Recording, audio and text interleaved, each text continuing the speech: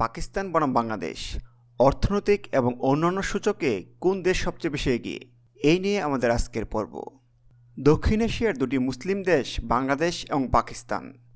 জনসংখ্যার দিক দিয়ে পাকিস্তান তৃতীয় বৃহত্তম মুসলিম দেশ আর বাংলাদেশ চতুর্থ বৃহত্তম মুসলিম দেশ। উনিশশো সাতচল্লিশ সাল থেকে উনিশশো একাত্তর সাল পর্যন্ত পূর্ব পাকিস্তান এবং পশ্চিম পাকিস্তান মিলে একটি দেশ ছিল। উনিশশো একাত্তর সালের অধিকার এবং স্বাধীনতা যুদ্ধে বাংলাদেশ স্বাধীন হয়। আজকের পর্বে দু হাজার বাইশ সাল পর্যন্ত বাংলাদেশ এবং পাকিস্তানের অর্থনৈতিক তুলনা দেখব। এই তুলনামূলক পর্বটি দেখার পর বুঝতে পারবেন স্বাধীনতার পর বাংলাদেশ দ্রুতগতিতে কতটা উন্নতি লাভ করেছে অর্থনৈতিক এবং অন্যান্য অবকাঠামোগত উন্নয়নে। প্রথমে আসছি পাকিস্তান নিয়ে। পাকিস্তান স্বাধীনতা লাভ করে উনিশশো সাতচল্লিশ সালে। পাকিস্তানের সম্পূর্ণ নাম ইসলামী প্রজাতন্ত্রী পাকিস্তান। পাকিস্তানের রাষ্ট্রভাষা উর্দু এবং ইংলিশ। পাকিস্তানের রাজধানী ইসলামাবাদ এবং অর্থনৈতিক শহর বলা হয় করাচিকে। বর্তমানে পাকিস্তানের জনসংখ্যা বাইশ কোটি পঞ্চাশ লক্ষ। পাকিস্তানের মোট জনসংখ্যার চৌচল্লিশ শতাংশ পাঞ্জাব এবং পনেরো শতাংশ পাঠান এবং চোদ্দ শতাংশ মানুষ সিন্ধি। পাকিস্তানের পঁচানব্বই শতাংশ মানুষ ইসলাম ধর্মের অনুসারী। প্রিয় দর্শক এগুলো তো ছিল পাকিস্তানের সাধারণ কিছু তথ্য। এবার দেখা যাক পাকিস্তানের অর্থনৈতিক দিকটা। দু হাজার বাইশ সালের শেষের দিকে এসে পাকিস্তানের মোট জিডিপি হচ্ছে দুশো বিলিয়ন ডলার এবং জিডিপি পিপিপি হচ্ছে ওয়ান পয়েন্ট ফাইভ ট্রিলিয়ন। পাকিস্তানের একজন সাধারণ মানুষের বার্ষিক মাথাপিছু আয় এক হাজার দুশো ছয়চল্লিশ মার্কিন ডলার এবং মাথাপিছু পার্চেসিং আয় ছয় হাজার ছশো বাষট্টি ইউএস ডলার।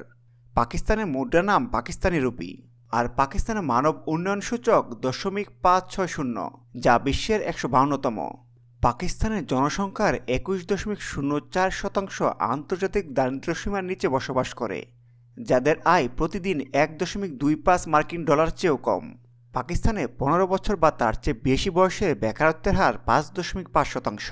প্রিয় দর্শক এগুলো তো ছিল পাকিস্তানের তথ্য। এবার জানা যাক বাংলাদেশের তথ্য। বাংলাদেশের সরকারি নাম গণপ্রজাতন্ত্রী বাংলাদেশ। পাকিস্তানের বিরুদ্ধে দীর্ঘ নয় মাস যুদ্ধের পর উনিশশো সালের ষোলোই ডিসেম্বর বিজয় লাভ করে। বাংলাদেশের রাষ্ট্রভাষা বাংলা, বাংলাদেশের রাজধানী ঢাকা এবং কমার্শিয়াল রাজধানী বলা হয় চট্টগ্রামকে। দু হাজার বাইশ সালে বাংলাদেশের মোট জনসংখ্যা ষোলো কোটি সত্তর লক্ষ। বাংলাদেশে বসবাসরত প্রায় নিরানব্বই শতাংশ বাংলা ভাষাভাষী। বাকি এক শতাংশ চাকমা, গারো সহ বিভিন্ন উপজাতি গোষ্ঠী।